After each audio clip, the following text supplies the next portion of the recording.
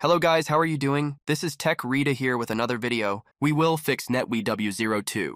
sys BSOD error on Windows 10 and 11. So let's get started. Press the Windows key plus X and select the Device Manager option. Double-click the Network Adapters section and right-click the Intel wireless device under it.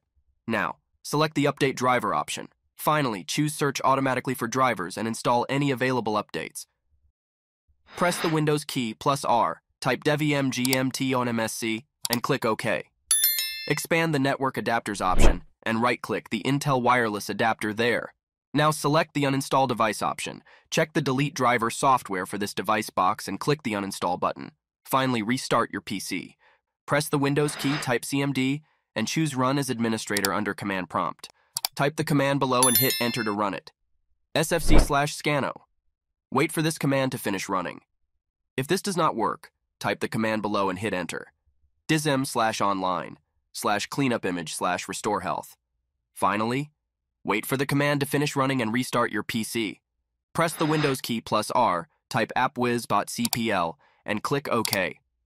Right-click your third-party antivirus and select Uninstall.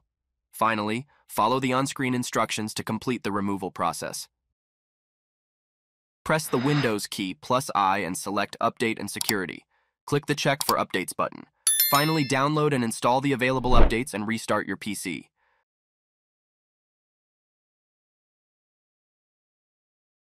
Thanks for watching. Hope this helped. If so, hit like and subscribe for more content.